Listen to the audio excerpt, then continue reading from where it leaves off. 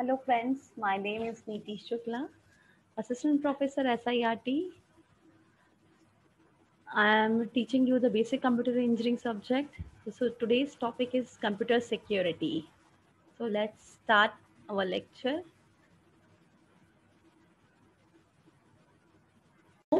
What is firewall? Firewall is a part of computer system or network that is designed to block unauthorized access unauthorized access while communication takes place. Anyone knows what is firewall?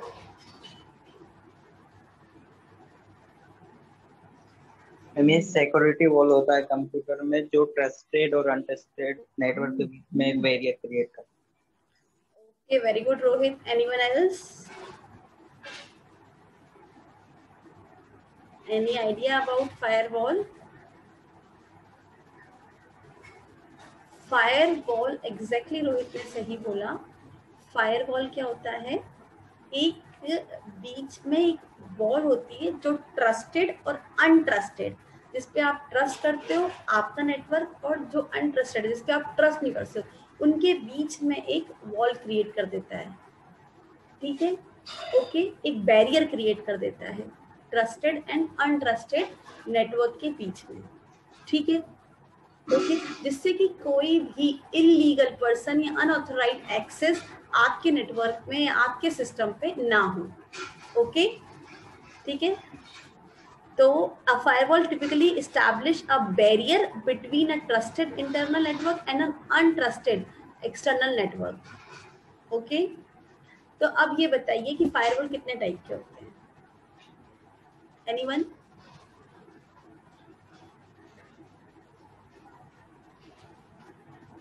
देखिए firewall दो type के होते हैं software और एक hardware ठीक है? Hardware भी होता है, जैसे राउटर देखा है आपने, इस टाइप से फायरवॉल भी आता है एक है ना? हार्डवेयर डिवाइस होती है, ठीक है? इसको आप लगा सकते हो। और एक होता है सॉफ्टवेयर सॉफ्टवेयर मतलब एक सॉफ्टवेयर एक प्रोग्राम है जो आप अपने सिस्टम पर डालेंगे और वो एज अ फायरवॉल की तरह वर्क करेगा राइट ठीक है? तो आ, अगर मैं आपसे पूछूँ कि आपके हिसाब से विच इज़ बेटर तो कोई बताएगा? सॉफ्टवेयर फायरवॉल और हार्डवेयर फायरवॉल देखिए मैं बताती हूँ आपको जो हार्डवेयर फायरवॉल होता है है ना? It's better than software firewall क्योंकि ये आपके नेटवर्क में आने के पहले ही लग जाता है। इट्स अ हार्डवेयर आपके नेटवर्क में, आपके नेटवर्क है। आपका नेटवर्क किसी राउटर से अटैच्ड है।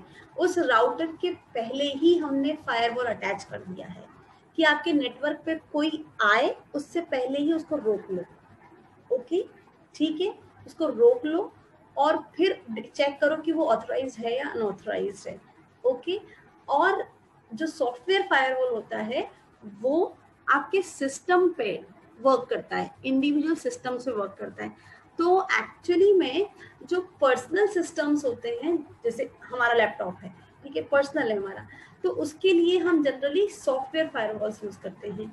लेकिन जैसे नेटवर्क्स हैं, ठीक है, बहुत बड़े बड़े नेटवर्क्स हैं, उन नेटवर्क्स पे बहुत सारे सिस्टम्स अटैच्ड हैं, ठीक है, उस हिसाब से कोई सर्वर है, बहुत सारे क्लाइंट्स हैं, उस हिसाब से उन टाइप टाइप के नेटवर्क्स में हम यूज़ करते हैं हार्डवेयर फायरवॉल ठीक है? कि नेटवर्क में डेटा आने से पहले ही चेक हो जाए कि डेटा ऑथराइज है या नहीं है, कोई आईडी ऑथराइज है या नहीं है, ठीक है? है ना? जैसे एक्सटर्नल कोई है है ना? जिसमें कुछ वायरसेस हैं, कोई एक फ़ाइल आ रही है जिसमें वायरस है है ना? वो स्कैन करेगा फायरवॉल और जब वो देखेगा कि उस फ़ाइल के अंदर वायरस है तो उसको वो पास नहीं करेगा। ठीक है? इट्स लाइक अ गेट वो पास नहीं करेगा, ठीक है? लेकिन अगर उसमें वायरस नहीं है, ठीक है? तो वो उसको पास कर देगा। सिमिलरली ये तो आउटर से कोई इंटरनल आ रहा है। इंटरनल से कोई आउटर डेटा जा रहा है। कोई वेबसाइट पे हम वर्क कर रहे हैं तो उसको भी ब्लॉक किया जा सकता है। है ना? जैसे फॉर एग्ज़ाम्पल मैं नहीं चाहती कि मेरे सिस्टम पर यूट्यूब चले राइट तो मैंने एक कीवर्ड से एक कीवर्ड लगा दिया ब्लॉक में ब्लॉक में यूट्यूब अब जिन जिन वेबसाइट पे यूट्यूब या यूट्यूब से वेबसाइट का नाम यूट्यूब हो या यूट्यूब से रिलेटेड कोई वेबसाइट हो, ठीक है, वो वेबसाइट्स इस पर चलेंगी ही नहीं। उनको हमने ब्लॉक कर दिया है। तो हम इंटरनल से आउटर जाना और आउटर से इंटरनल जाने के सारे ट्रैफिक्स को चेक कर सकते हैं ब्लॉक कर सकते हैं थ्रू फायरवॉल ओके फायरवॉल जो होता है, वो देखो यहाँ पे फायरवॉल जो होता है, जैसे टाइप्स ऑफ़ फायरवॉल है, ठीक है? फायरवॉल जो होते हैं, वो इस तरीके के होते हैं। Packet filters gateway application gateway circuit level gateway proxy servers है ना? तो ये जो फायरवॉल्स होते हैं, ये एक्चुअली में गेटवे पे ही लगते हैं। गेटवे मतलब जैसे आपका घर है, आपके घर का बाहर का दरवाज़ा है, ठीक है? आपके घर का बाहर का जो गेट है उसी पे हमने किसी को बैठा दिया है कि जो ऑथराइज्ड हो, वही अंदर आए, नहीं तो कोई अंदर नहीं आएगा। ठीक है? और आएगा तो उसको चेक करके अंदर आना पड़ेगा। हम पहले चेकिंग चेक करेंगे उसको, उसके बाद ही अंदर आएगा। तो वहीं पे, है ना? गेटवे पे ही फायरवॉल यूज़ होता है। ठीक है? अलग अलग टाइप के फायरवॉल्स होते हैं। Circuit level application level packet filters, packets को चेक किया जाता है।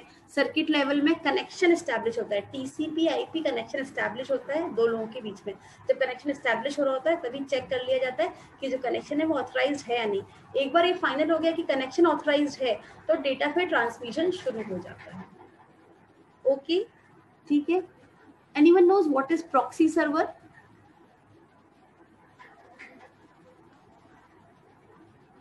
proxy server नाम से कुछ समझ में आ रहा है? नाम से जो समझ में आ रहा है प्रॉक्सी का मतलब क्या होता है? What is me the meaning of proxy